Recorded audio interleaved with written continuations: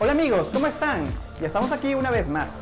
Y como siempre, les traemos el mejor resumen de noticias sobre el mundo XR y el metaverso. Yo soy Hiro y les doy la bienvenida una vez más a Noticias XR. Esta entrega está repleta de noticias. La quincena ha estado bastante recargada. Tenemos a PlayStation VR 2 y su diseño final, que por cierto hicimos un video al respecto. Si no lo viste, igual haremos un resumen, así que hoy no te lo pierdas.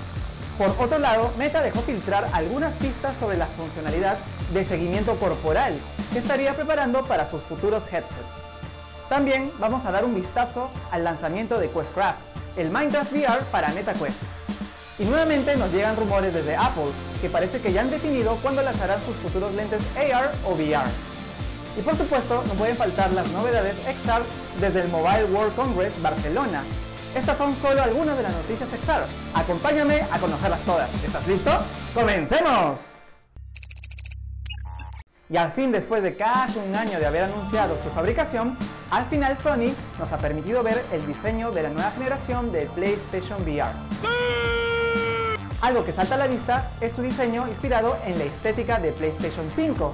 Personalmente me gusta bastante lo ovalado del casco y la forma redonda de los controles. En PlayStation VR 2 tendrá cuatro cámaras frontales integradas para el seguimiento de adentro hacia afuera, a diferencia de la versión original que como recordarán necesitaba de una cámara externa, algo que se ha mantenido muy similar a la versión original que ha generado algunos comentarios negativos, es el cable conectado a la parte trasera de la diadema, esto debido a que ya se habían reportado enredos y reducción de la movilidad.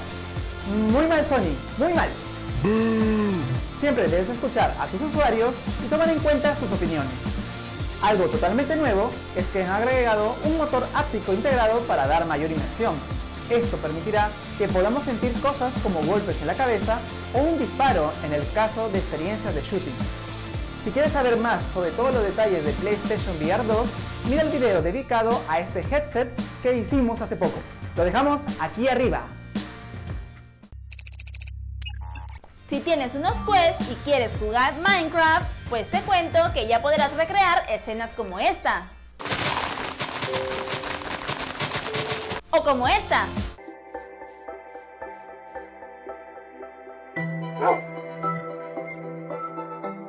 Hace poco se lanzó Questcraft, un port no oficial de Minecraft creado especialmente para este dispositivo sin la necesidad de una PC para juegos.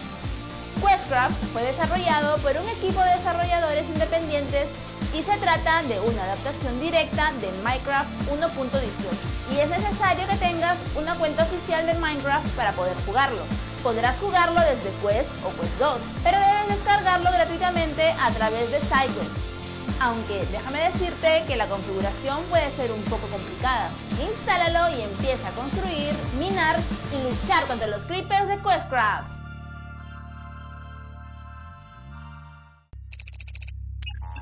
Y a Meta se le chispoteó.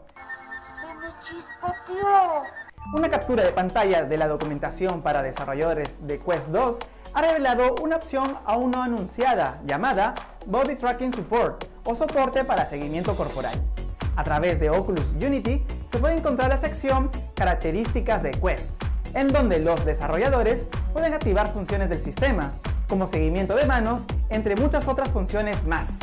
Como pueden ver en la captura de pantalla, debajo de Hand Tracking Frequency y por encima de Tracker Keyboard Support hay una nueva opción llamada Body Tracking Support. ¿Y qué podría significar esto? Es posible que Meta esté planeando expandir este sistema en una futura actualización de Quest 2 o tal vez para la siguiente generación de Quest. Sin embargo, también cabe la posibilidad que esté destinado a Project Cambria. Recordemos que Meta está desarrollando una línea de realidad mixta de gama alta con más sensores de seguimiento. ¿Y tú qué crees? ¿Cuáles crees que sean los planes de Meta? Déjalo en los comentarios. Y ahora vamos con las novedades del mundo XR que se presentaron en el Mobile World Congress.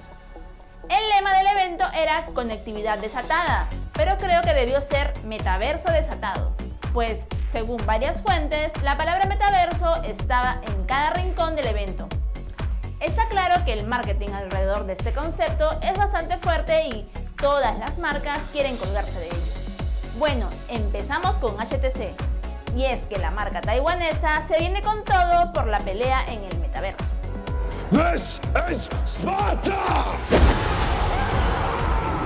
En el Mobile World Congress anunció su visión del metaverso llamada Viveverse. Este metaverso sería de código abierto y estaría compuesto por varios mundos interactivos de realidad aumentada, realidad virtual, aplicaciones y juegos. Y justamente para tener una buena experiencia en su Viveverse, han creado Vive Browser, su navegador web basado en realidad virtual.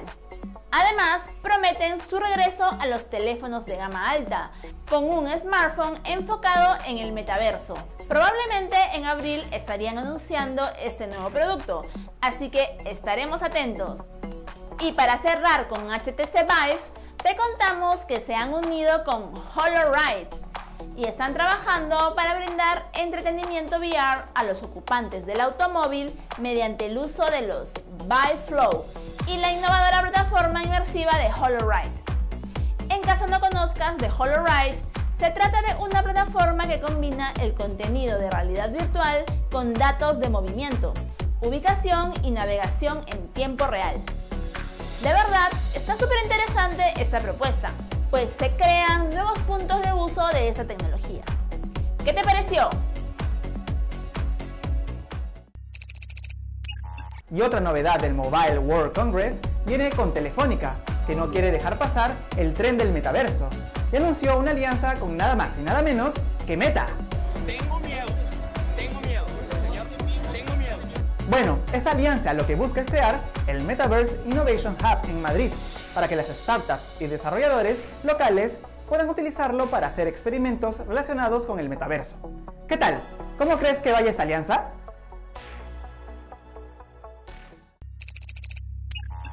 ¿Y se acuerdan de Petal Search? El buscador que Huawei desarrolló para sustituir a Google cuando Estados Unidos le prohibió utilizar Android? No, no, no, no, no. Bueno, en el Mobile World Congress Huawei mostró la integración de su Petal Search con sus Huawei AR Glasses. Estos Smart Glasses tendrán capacidad de realidad aumentada y podrán identificar monumentos, hoteles, restaurantes y ofrecer información relacionada en varios idiomas. Y no solo eso, los Huawei AR Glasses también permitirán búsquedas visuales por comandos de voz y traducción simultánea.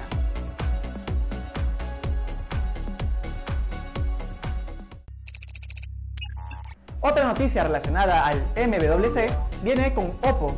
Ellos mostraron sus Air Glass. Este dispositivo no es en sí unos Smart Glasses, sino que son algo así como unos lentes Saiyajin. Ellos lo llaman dispositivo de realidad asistida y pesa solo 30 gramos. Los Air Glass encajan en la pata de nuestros anteojos y posee un microproyector Spark, desarrollado por Oppo, que sirve para proyectar información enfrente de nuestros ojos. Esta información, ya sea texto o gráficos, son simples y de color verde. Para utilizar los AirGlass se utiliza una aplicación que está en los teléfonos de Oppo y se puede controlar por tacto, por voz, también movimiento de la mano y de la cabeza.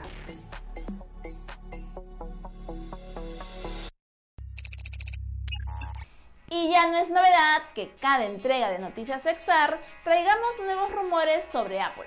Y esta vez no será la excepción. Oh shit, here we go again.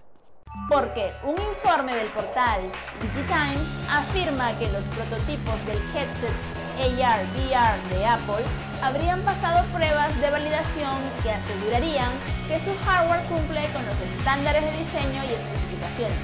Según el mismo informe, algunos de los proveedores de Apple habrían filtrado el dato que el headset más esperado por todos podría debutar a fines de este año, del 2022.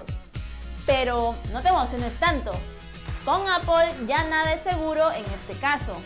Así que sigamos esperando, estaremos atentos a más novedades.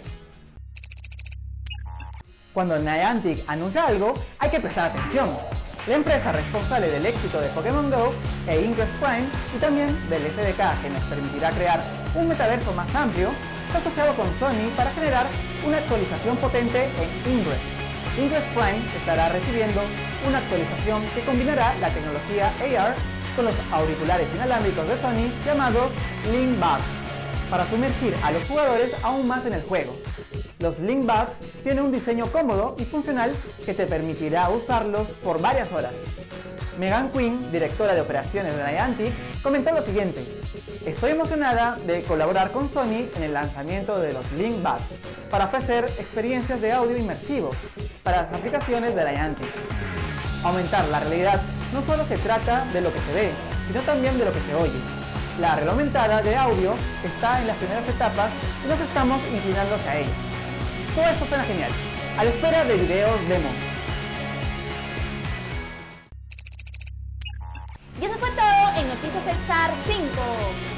Te hayan gustado las noticias y no dejes de vernos en el siguiente video. Nos vemos en el siguiente video y nos vemos ¿dónde? En el metaverso. Bye.